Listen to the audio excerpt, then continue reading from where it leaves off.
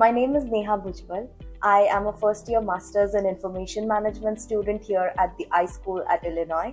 As an information professional, I am very much passionate about leveraging data and technology in order to drive innovation and create a positive impact on the society. So, owing to this interest, I'm also currently working as a data analyst at the Department of Diversity, Equity and Inclusion. I'm helping the department with understanding their data and then trying to come up with uh, visualizations and some key insights from that data where some of the pressing points where diversity is lacking within the department, coming up with new strategies to improve and have a balance in diversity on our campus. My motto is to embrace every experience and opportunity that I get going forward and grab these opportunities so that I can leave an impact and make a difference.